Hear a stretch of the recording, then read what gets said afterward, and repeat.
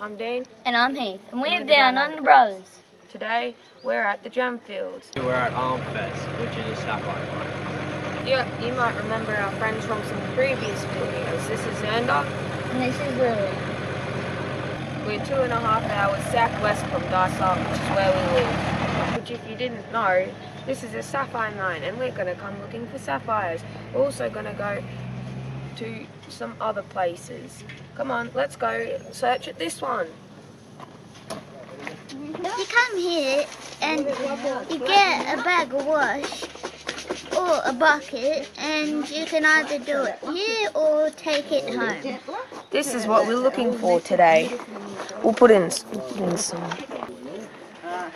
We're sifting out all of the small rocks that most likely aren't sapphires, and if they are, too small to do anything with. So there's two levels of sifting. There's a thicker mesh on the top to keep out the bigger rocks, and then there's a smaller mesh here to get keep all the good good sized rocks and sapphires. Sometimes you find big sapphires.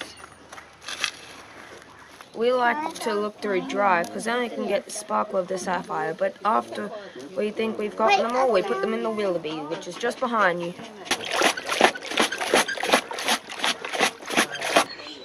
Well, we did it a certain way, and look at what happened. They're all in this area.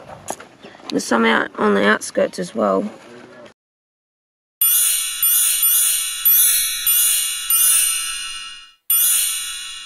I think I found the green one.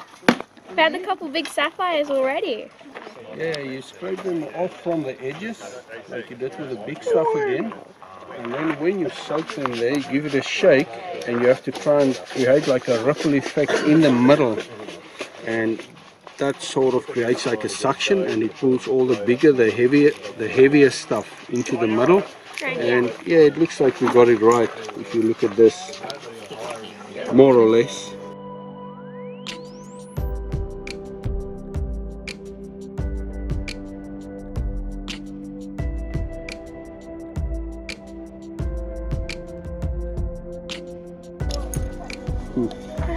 One here. This is a six-sided sapphire. That's it.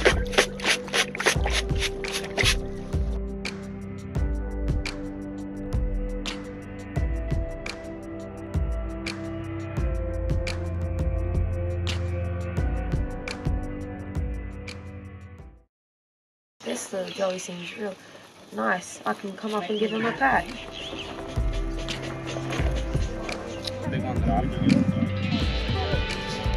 Such a big stone. So this one here will cut and that one will cut. Now, if I put them that side, see that's the star sapphire. See that? What they do, they cabochon him, up and over like the cabin of a car. Mm. Only one? And these ones here will cut like that. And that one's a ripper, absolute perler. You can get a good mm. good one out of that one. You could even get that one Australian cut if you wanted to. So these ones here can cut, and that one there is super special. Do you want to keep that one out? Um, yes, please. These are your show and tell.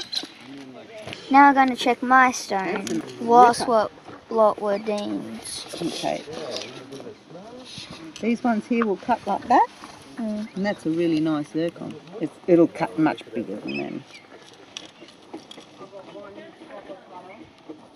And there, it's a star.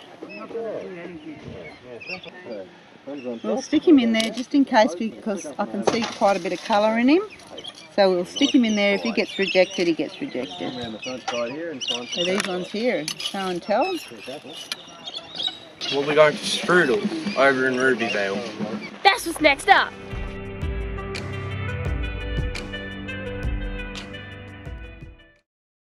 The Down Under Brothers are going to be conducting a very exciting experiment. They've gone to a bunch of places around the gem field to make, collect wash, and they're going to compare the size, the quantity, and the quality of each sapphire and stone. I can't wait to hear the results. I'll be watching every step of the way.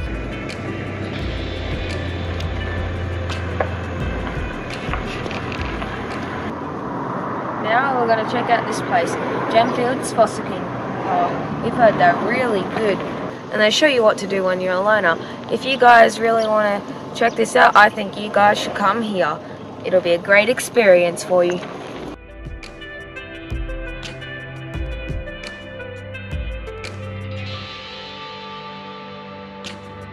What does it do? pulls all the fines out and then the rocks fall out there so you So as you're digging your dirt out of the ground, you put it in there and it cleans it for you. got a good setup. They've got all sorts of strainers, places you can find your gems, and all sorts of other things.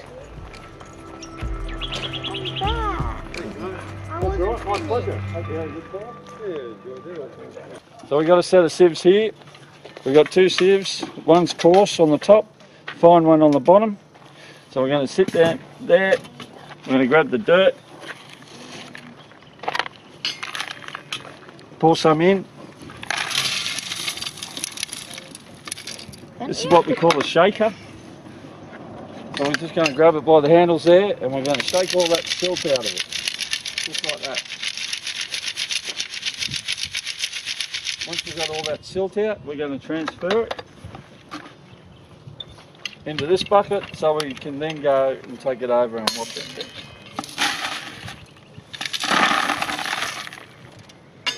So that's one way, that's, the, that's what we call the shaker.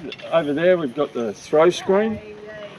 So what, over here you'd put the bucket on here, the whole bucket all at once, go like that, and all the stones come out and all the silt goes through and it's really fast. So that's what that's what I take out when I go digging.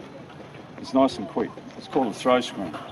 I used to call it a throw screen because I used to when there was a lot a lot of surface sapphires around, I used to just get the shovel and just flick it at it. That's why it's called a throw screen. So you can do half a bucket on that and then do the other half on here.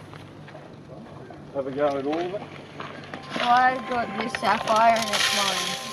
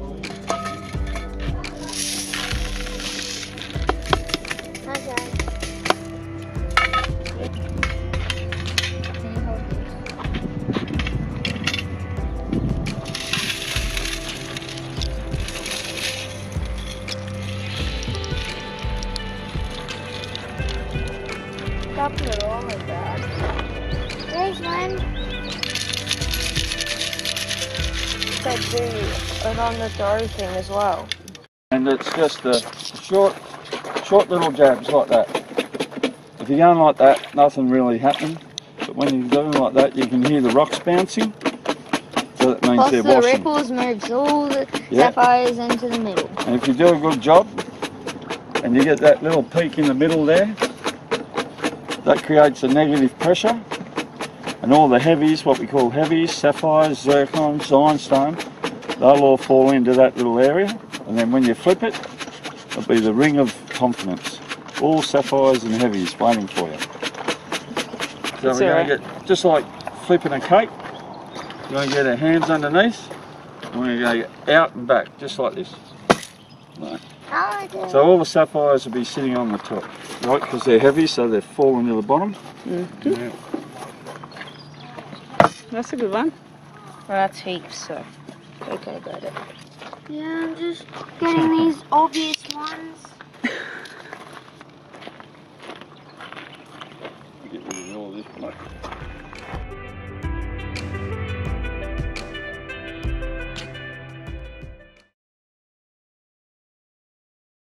Like that. Just let them sit there. You don't want to just so they do whatever they want to do. And you just walk along. And when they cross like that, That means where your feet are is sapphires or water. It won't happen on just one sapphire, but I concentrate. I'll go and get some. Mark here from Gem- Gemfields Fossicking Park has found a lot of cutting stones. He's found them from Tomahawk Creek and he's shown us them. Have a look. Oh, and there you've got the rods.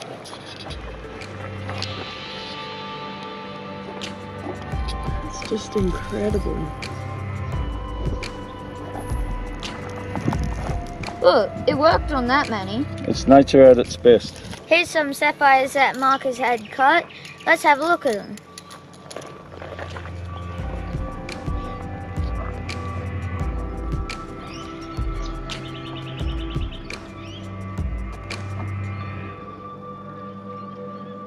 I reckon this place was amazing.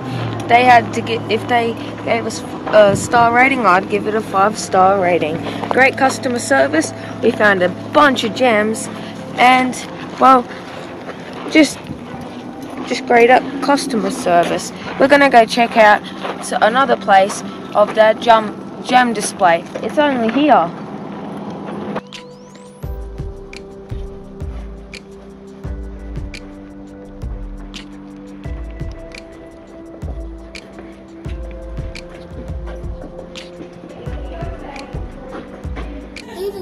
Of wash here, 15 bucks a bag.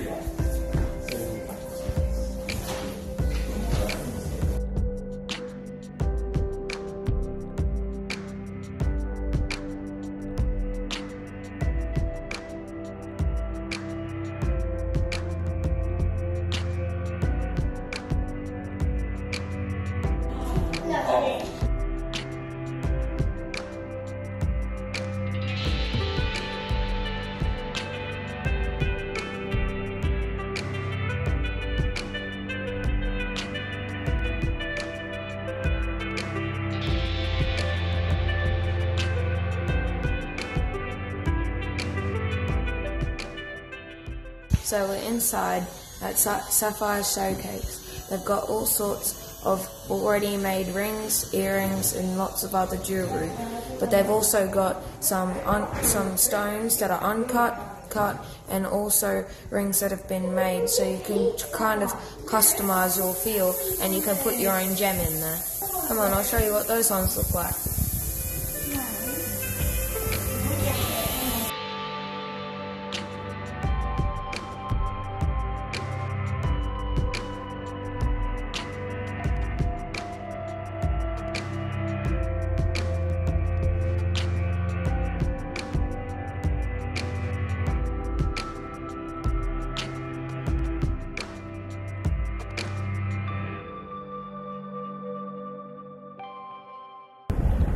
That was amazing looking around Sapphire Showcase. Thanks for coming to the Gemfields with us, guys and ladies. Ah, well, there's heat. They're all. Thank So, yeah. you. So there's, we've got five out of I that. watched and more then I've got to cut another two or episodes three next time we of go in. Just let them dry out a Take little bit and then home break watch. them out. See you next time, guys.